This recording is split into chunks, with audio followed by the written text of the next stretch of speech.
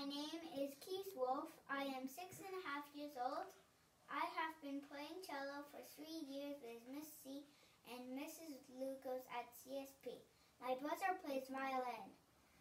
I love playing cello for my friends and family. I played for my grandpa when he was in the hospital.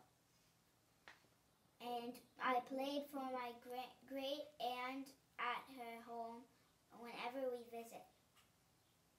makes them very happy and makes me happy too.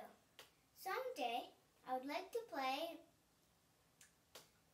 at the Carnegie Hall in New York City with my brother.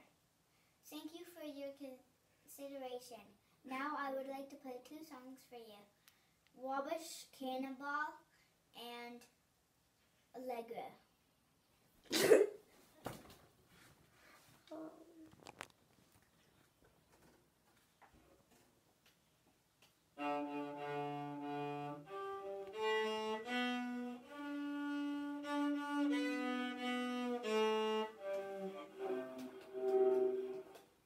thank